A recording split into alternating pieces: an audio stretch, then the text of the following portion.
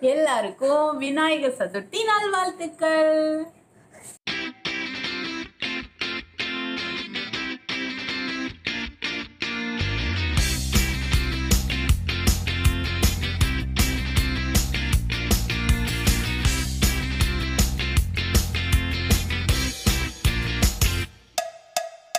Hello friends welcome back to my channel life of housewife Tamil நம்ம இன்னைக்கு என்ன பார்க்க போகிறோம்னா விநாயகர் சதுர்த்தி ஸ்பெஷல் ரெசிபீஸ் பார்க்க போகிறோம் என்ன ரெசிபீஸ்லாம் பார்த்தீங்கன்னா பூரண கொல்கட்டை சுண்டல் தித்திக்கும் சர்க்கரை பொங்கல் மூணு பார்க்க போகிறோம் வாங்க எப்படி செய்யலாம் பார்க்கலாம்.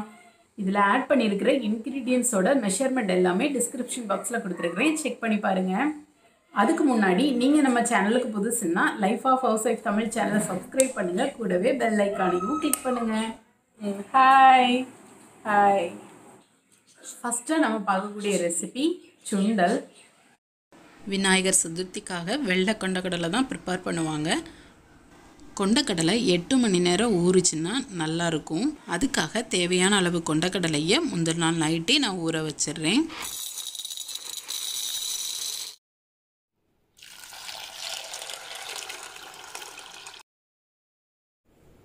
இப்போ கொண்டக்கடலையில் தேவையான அளவு தண்ணி விட்டுட்டேன் இது எட்டு மணி நேரம் நல்லா ஊறட்டும்.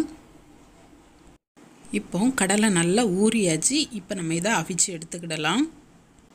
குக்கரில் தான் கடலையை அவிக்க போகிறேன் கடலையை குக்கருக்கு மாற்றிடுறேன் மாற்றிட்டு தேவையான அளவு தண்ணி விட்டுடுறேன்.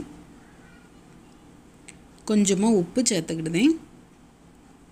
இப்போ குக்கரை மூடி ஆறு விசில் வச்சு எடுத்துடுறேன். நல்ல பசுமையாக கடலை வெந்துடும்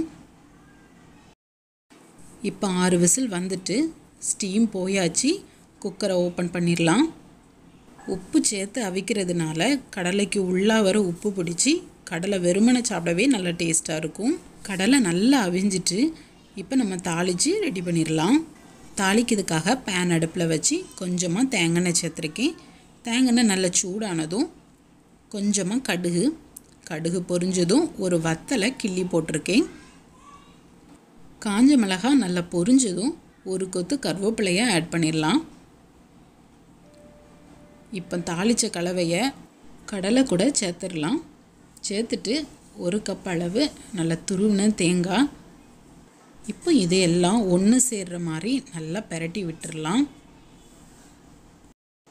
எல்லாம் ஒன்றா சேர்த்து மிக்ஸ் பண்ணி விட்டாச்சு. நம்மளோட சுண்டல் கலவையும் ரெடி ஆயாச்சு. இப்போ நம்ம செகண்டாக பார்க்கக்கூடியது பூரண கொல்கட்டை எப்படி செய்யலாம் பார்க்கலாம்.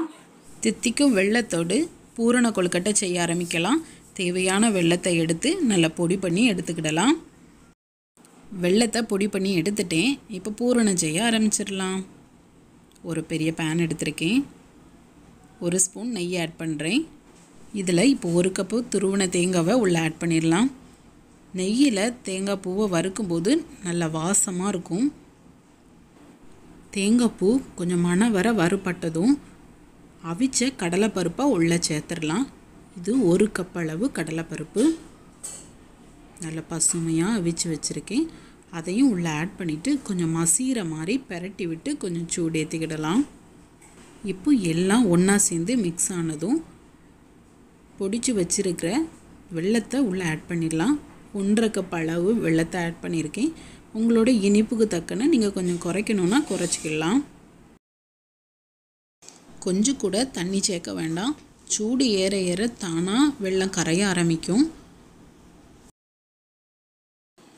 வெள்ளம் நல்லா கரைஞ்சி மெல்ட் ஆகி எல்லாம் ஒன்றா சேர்ந்து கொஞ்சம் இறுகுனதும் நம்ம அடுப்பை ஆஃப் பண்ணிடலாம்.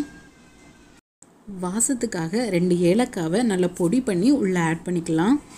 இப்போ இந்தளவுக்கு கொஞ்சம் கெட்டியாக இருக்குது இந்த சமயத்தில் நான் அடுப்பை ஆஃப் பண்ணிடுறேன். ஆற ஆற இன்னும் கொஞ்சம் கெட்டியாகும். இப்போ பூரணம் ரெடி இதை தனியாக தூக்கி மாற்றி வச்சிடலாம். இப்போ கொழுக்கட்டை செய்ய ஆரம்பிக்கலாம். ஒரு கப் அளவு பச்சரிசி மாவு. இது நான் இடியாப்ப மாவு எடுத்திருக்கேன். நீங்கள் வீட்டில் திரிக்க மாவாக இருந்தால் ஒரு ரெண்டு நிமிஷம் வெறும் பாத்திரத்தில் லைட்டாக வறுத்துக்கோங்க.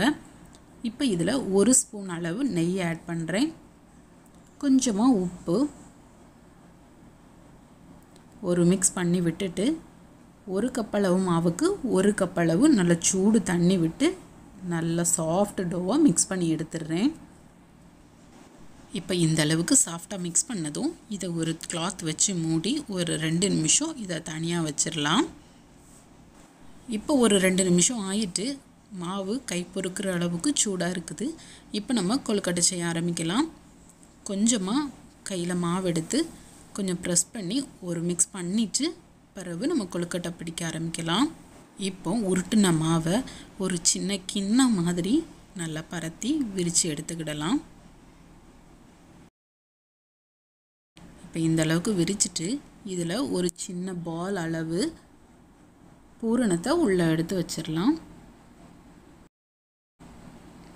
இப்போ நம்மளுக்கு தேவையான ஷேப்பில் நம்ம இதை கவர் பண்ணி உருண்டை பிடிச்சி எடுத்துக்கிடலாம்.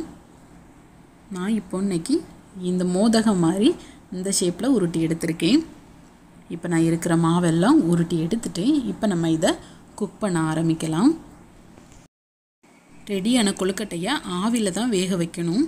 அதுக்காக நான் இட்லி பாத்திரத்தில் அடியில் தண்ணி வச்சு சூடு பண்ண வச்சுருக்கேன். தண்ணி நல்லா சூடாயாச்சு. இப்போ ரெடி பண்ணி வச்சுருக்கிற கொழுக்கட்டையை தட்டில் வச்சு மேலே தூக்கி வச்சு மூடி வச்சு ஒரு பத்து நிமிஷம் ஆவியில் வேக விட்டுறலாம். இப்போ ஒரு பத்து நிமிஷம் ஆயிட்டு ஓப்பன் பண்ணி பார்க்கலாம். மணக்க மணக்க பூரண கொழுக்கட்டை ரெடி. கொஞ்சமாக ஆறுனதும் நம்ம தட்டுக்கு மாற்றி சர்வ் பண்ண ஆரம்பிக்கலாம். இப்போ நம்ம பார்க்க போகிறது தித்திக்கும் சர்க்கரை பொங்கல்.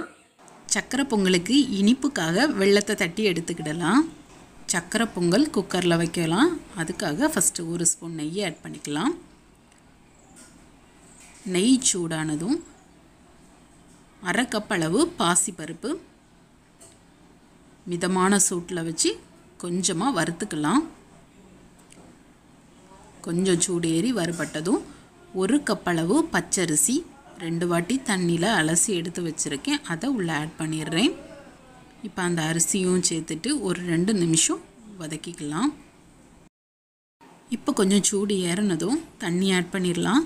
நாலு கப் அளவு தண்ணி ஒரு கப் அளவு பால். ஆட் பண்ணதும் இதில் ஒரு ஸ்பூன் அளவு நெய் ஆட் பண்ணிடலாம். ஸ்வீட் ரெசிபிக்கு எப்போவும் ஒரு பிஞ்ச் உப்பு ஆட் பண்ணணும்னா இன்னும் ஸ்வீட்டாக தெரியும்.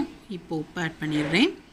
இப்போ எல்லா சேர்த்து ஒன்றா மிக்ஸ் பண்ணி விட்டுட்டு குக்கரை மூடி மூணு விசில் வச்சு எடுத்துடலாம். இப்போ குக்கரில் மூணு விசில் வரட்டும். அதுக்கு முன்னாடி நம்ம பாகு காய்ச்சி எடுத்துடலாம். பொடி பண்ண சர்க்கரையை பேனுக்கு மாற்றிடலாம் நான் ஒன்றரை கப் அளவு சர்க்கரை எடுத்திருக்கேன். உங்களோட இனிப்புக்கு தக்கன நீங்கள் குறைக்கவோ கூட்டவோ செஞ்சுக்கலாம். ஒன்றரை கப்பு சர்க்கரைக்கு ஒன்றரை கப் அளவு தண்ணி உள்ளே ஆட் பண்ணிடுறேன். இது பாகு பதம்லாம் தேவையில்லை. ஜஸ்ட் அந்த சர்க்கரை கரைஞ்சால் போதும். சர்க்கரையில் எப்போவுமே தூசி துரும்புலாம் இருக்கும். அது வடிகட்டுறதுக்காக தான் நம்ம கரைச்சி எடுக்கும். சுத்தமான சர்க்கரையாக இருந்தால் நம்ம டைரெக்டாகவே உள்ளே ஆட் பண்ணிடலாம். இப்போ வெள்ளம் நல்லா கரைஞ்சிட்டு வடிகட்டிடலாம். மண்டை வெள்ளம் வெல்லம் சர்க்கரை எல்லாமே ஒன்று தான். ஷேப் தான் வித்தியாசமாக இருக்கும். இப்போ பாருங்கள் இவ்வளோ தூசி துரும்புகள் இருந்து எடுத்துட்டேன் இப்போ நம்ம வடிகட்டின பாகு இப்போ முந்திரி பழம் முந்திரி பருப்பை வறுத்து எடுத்துக்கலாம் பேனில் ஒரு ஸ்பூன் அளவு நெய் விட்டுட்டு முந்திரி பருப்பை உள்ளே ஆட் பண்ணிடலாம். முந்திரி பருப்பு கொஞ்சம் பொரிஞ்சதும் முந்திரி பழத்தை உள்ளே ஆட் பண்ணிடலாம். முந்திரி பழம் நல்லா பலூன் மாதிரி ஆனதும் நம்ம ஆஃப் பண்ணி மாற்றி வச்சுக்கலாம். இப்போ குக்கர் மூணு விசில் வந்தாச்சு ஸ்டீம் போயாச்சு நம்ம ஓப்பன் பண்ணி பார்த்துடலாம். நல்லா மணக்க மணக்க ரெடியாக இருக்குது இப்போ இதை கொஞ்சம் கிளறி விட்டு கொஞ்சம் மசிச்சு எடுத்த மாதிரி எடுத்துக்கலாம். பாருங்கள் நல்லா குக் ஆகிட்டு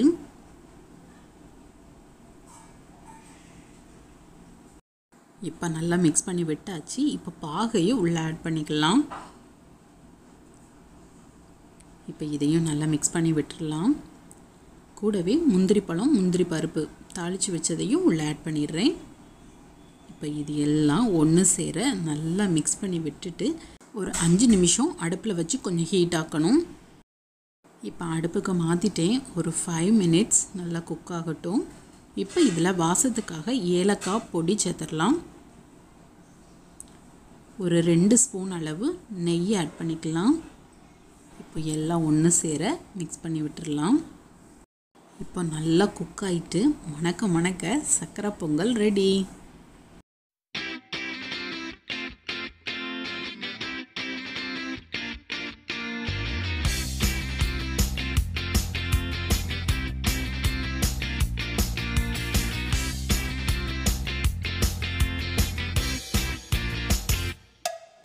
எல்லாருக்கும் விநாயகர் சதுர்த்தி நல்வாழ்த்துக்கள்.